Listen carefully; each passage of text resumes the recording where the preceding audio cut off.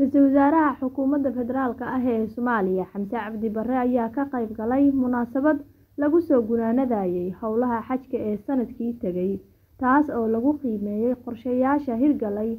iyo caqabadihii soo food saaray xujayada Soomaaliyeed. Ra'iisul Wasaaraha ayaa sheegay in sanadkan wax badan laga qabtay hagaajinta howlaha xajka ee dadka Soomaaliyeed, dowladduna ay dadaal badan ku bixisay sidii ay uga hortagi lahayd dhibaatooyinka badan ee soo food saari jiray xujayada Soomaaliyeed inta aysan ka dhoofin dalka iyo marka ay gaaraan dhulka barakeysan ee xaramka. Sidoo kalena, Ra'iisul Wasaare Xamse ayaa tilmaamay in hoos loo dhigay kharashaadkii ku bixi jiray xujayada Soomaaliyeed sanadkan in ka badan toddoba boqol, welina ay xukuumaddu ku sii dadaaleyso sidii loo sii yareyn lahaa qiimaha xajka, halka ay jiraan guddiyo loo xilsaaray joogteynta adeegyada, tayada iyo xaaladaha nololeed ee xujayada Soomaaliyeed ee soo gudaneysa acmaasha barakeysan ee xajka. Waxaa alla mahadiisa in acmaashii xajka ee sannadkii dhammaaday ay si wanaagsan inoogu soo dhammaadeen alxamdulilah sanadkan wasaaradda iyo guud ahaan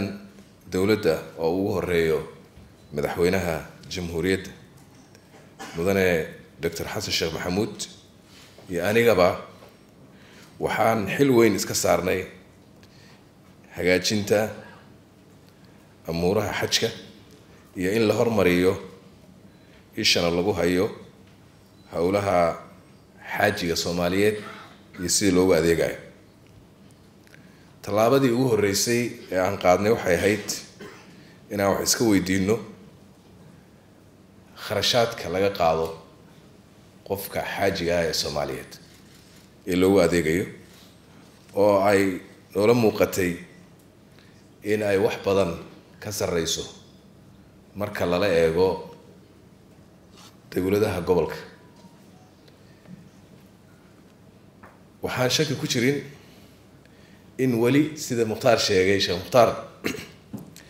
sicirku weli waxoogaa u sarreeyo laakiin waxaan rajayneynaa ilaah idankiis kana shaqeyn doonaa sidii xaajiga soomaaliyeed looga sii yareyn lahaa kharashka ku baxa inta xajkan ku baxday Bushra Cali Nadiir, C B A, Muqdisho.